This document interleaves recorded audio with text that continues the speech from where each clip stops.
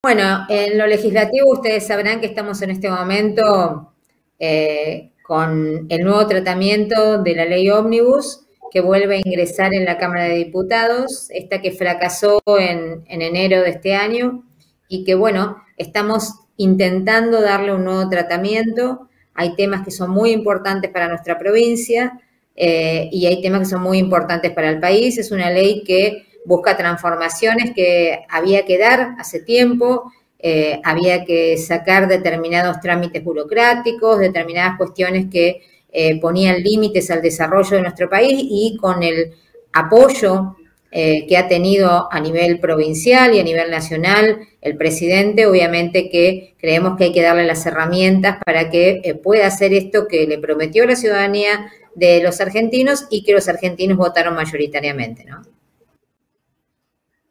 Bueno, eh, también este, bueno, en, el tema de, por ahí el trabajo que usted viene haciendo ya desde hace tiempo, eh, tiene mucho que ver con el tema de eh, la, comisión que fue,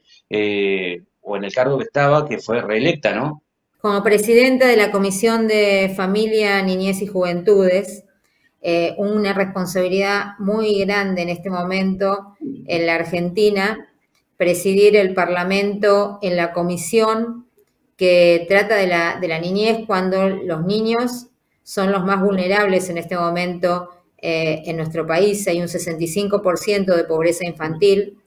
y sabemos que la niñez vulnerada eh, es porque está en hogares de, de, padres que no tienen trabajo o que aún teniendo trabajo están bajo la línea de pobreza. Y entonces tenemos que poner toda la atención en el cuidado de quienes son más vulnerables, que son los niños. Así que es una comisión eh, que ayer recibió la Defensora Nacional de los Derechos del Niño, que hizo una exposición sobre cuáles eran los desafíos que tenemos y, son variados porque habló desde el tema de desnutrición, malnutrición, la necesidad de extender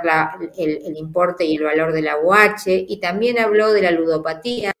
que se está generando eh, en los niños con esto de los teléfonos celulares y que se juega tanto y está eh, incurriendo tanto en adicciones a, cuestiones tecnológicas, eh, el suicidio que se da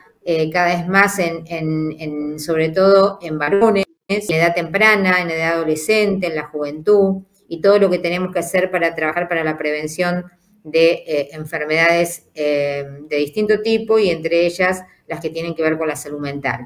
mucho trabajo para hacer en esa comisión, así que con una responsabilidad muy grande.